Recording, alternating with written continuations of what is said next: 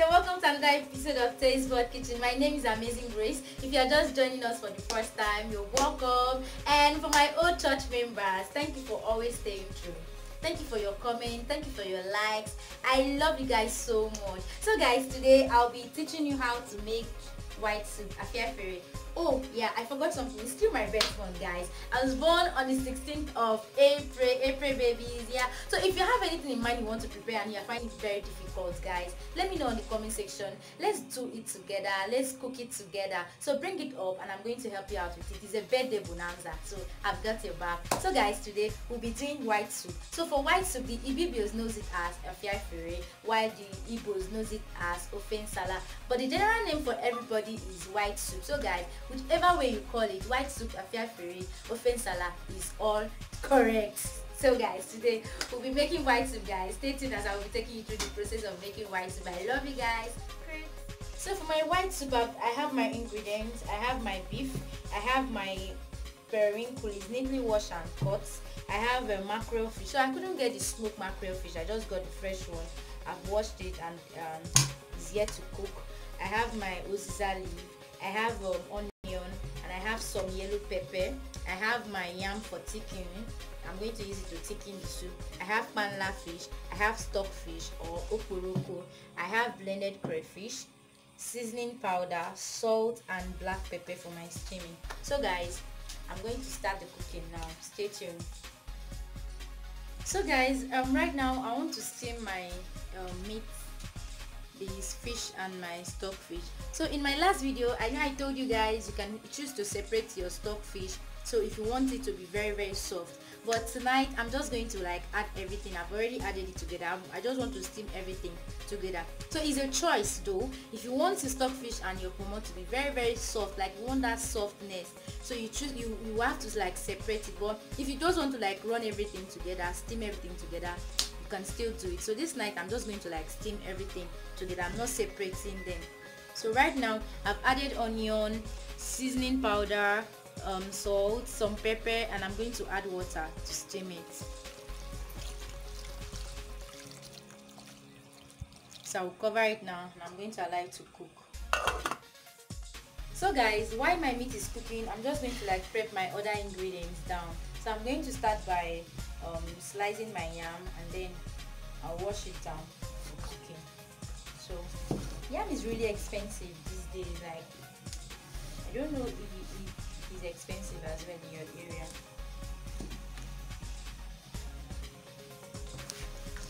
Okay so i'm just going to like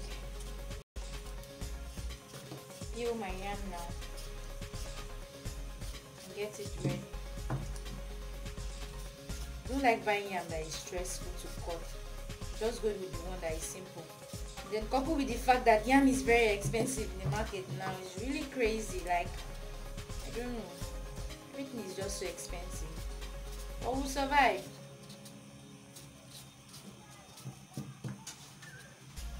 So i love buying white yam. Whenever i'm buying yam in the market i always ask and ask hope is white yam. Hope i don't like all those colored yam time you it everything will turn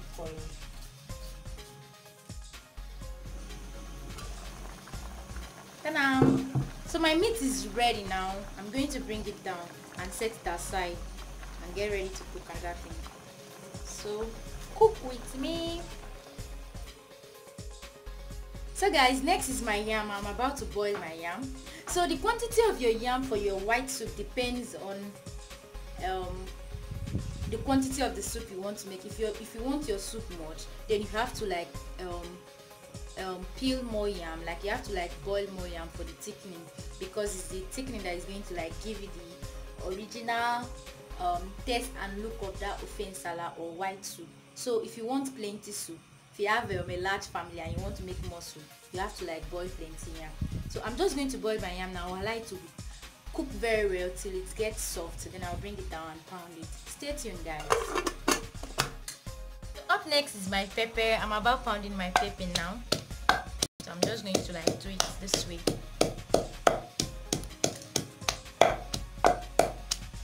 I prefer using yellow pepper for my um, white soup because there's this unique taste it gives to soup.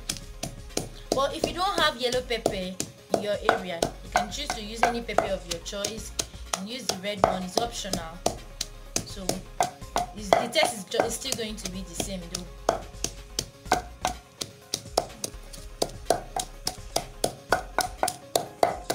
So i'm done pounding my pepper. I'm just going to like remove it and set it aside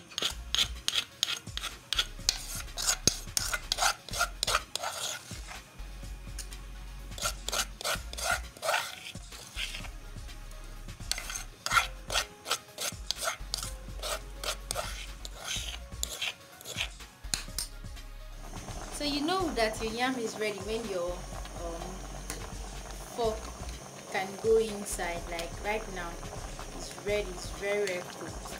So i'm going to bring it down and pound it. I'm gonna buy white yam oh, when you want to make your white soup you get why?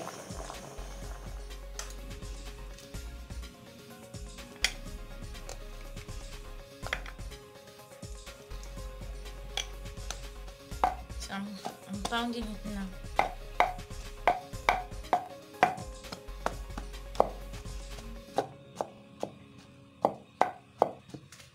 you pound it very well.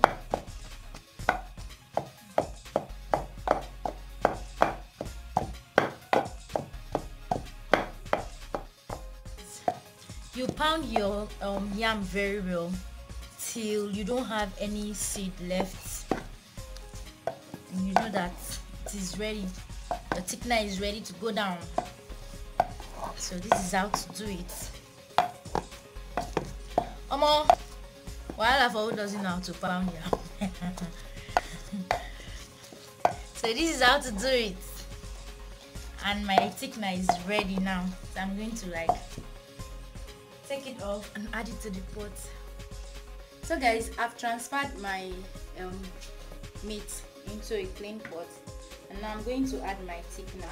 That's my pounded yam. I'm going to cut it lumps by lumps and add it.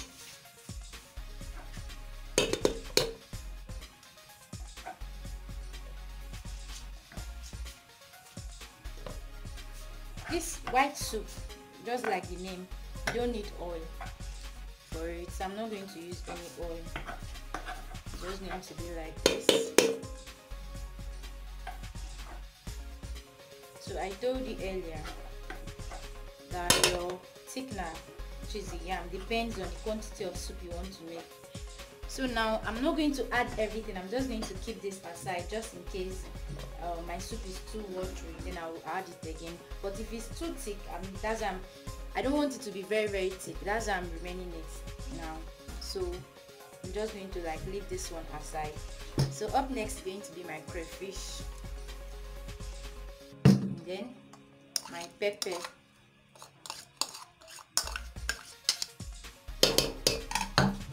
My onion optional most lots of people do not eat onion. But i love onion in my food. And it's healthy.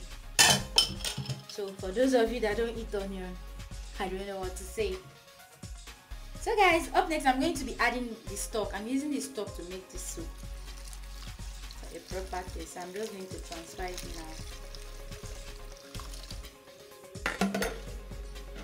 Yeah so next is going to be a little salt seasoning powder. So I've added everything. So I'm just going to stir it. So everything mix together and I'll like to cook.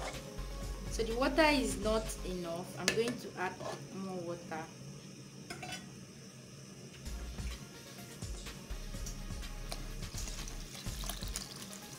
Now I like so guys a quick one.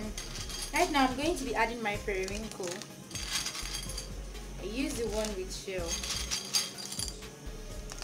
I want, I, want, I want to be busy when eating this soup.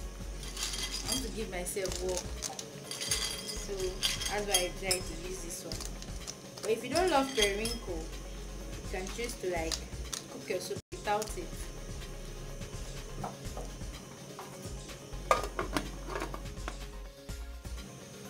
a quick one. I forgot telling you how to wash your periwinkle when making your soup or when you want to use it to like prepare your meal. So um, there are two ways to like wash your periwinkle. The first one is um, after cutting it, you can use salt and water to like wash it. But if you don't want to like use salt and water, you can also wash it. Then after washing it, to remove those slimy things, you can boil it. When you boil it, everything is going to come out. But I personally prefer to like use salt and water to wash it thoroughly. Like I can wash it for like seven to eight times, and then I'll all those um slimy things are going to be out so that's that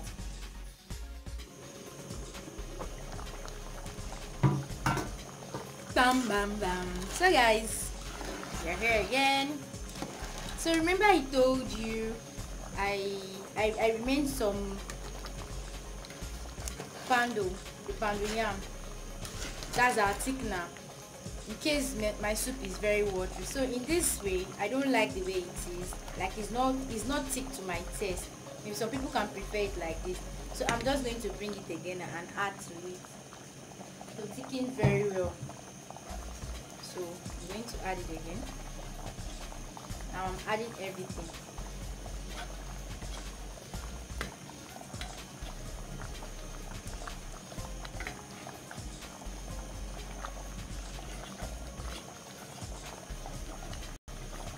so I measured my quantity very well actually. So now I'm going to allow it to cook again so that the ones I added the, this last one I added is going to dissolve too. So while my soup is cooking I'm, I'm still going to prep this down my last ingredient because it's almost time to add it. I'm just going to chop it two tiny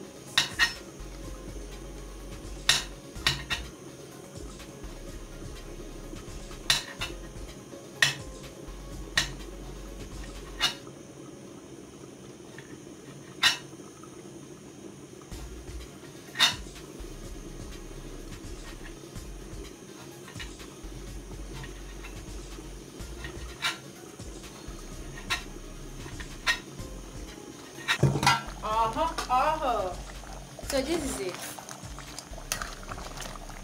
It is okay now. These are your ofe nsala should look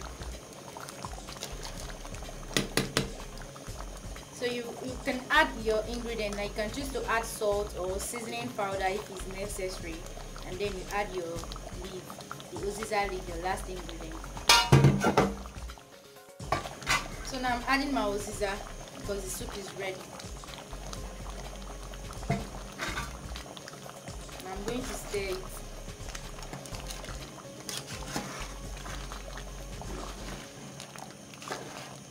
I will allow it to simmer for like 3 minutes and then my soup is ready. Bring it down. Um, so guys, my soup is ready. I'm serving it now.